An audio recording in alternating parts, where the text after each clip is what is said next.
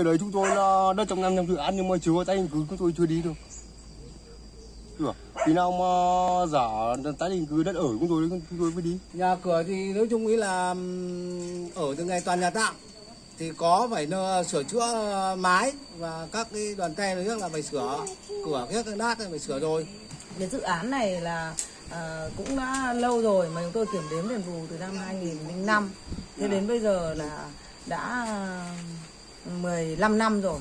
Thì cái mà chúng tôi chưa chuyển đi là lý do là, thứ nhất là cái à, công tác giải phóng mặt bằng thì người dân thì chấp hành rất là tốt à, kiểm đếm đền bù à, để giao giảm mặt bằng cho nhà nước với thực hiện cái dự án tốt. Thế nhưng mà vì là cái đất tái định cư là chưa giải quyết cho dân, mà khu tái định cư thì dân yêu cầu mãi là phải làm cái cơ sở hạ tầng cho nó được tốt để ừ, người dân người ta ra đấy người ta sinh sống để đảm bảo cái ờ, đời sống. Thứ nhất là cái công ăn việc làm.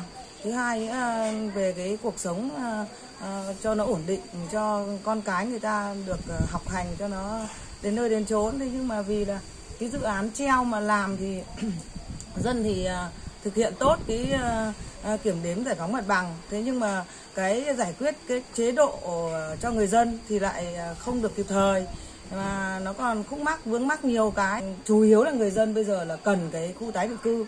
Khu tái định cư thì chỉ có cần là à, thứ nhất là đường điện trường trạm mới là cơ sở hạ tầng. Làm sao nó phải là ừ, đảm bảo đầy đủ cho người dân. À, thì người dân người ta chuyển ra tái định cư người ta an cư lập nghiệp thì lúc đấy là à, người ta sẽ bàn giao nốt cái mặt bằng. Thế cho nên là đang trong cái tình trạng này là người dân chúng tôi là bị vướng mắc cái vấn đề như thế. Đi không à, không được mà ở cũng không yên. Có gia đình là con cái đi xây dựng gia đình. Ở bây giờ là coi như đang ở tạm bợ ừ, nhà thì không được xây thêm mà gọi là cứ chấp vá để ở. Đấy rất là khổ. Thế mà bây giờ cũng không nhanh chóng cái khu tái định cư lại càng ngày càng tiếp theo nữa. Lại còn nhiều hộ gia đình nữa.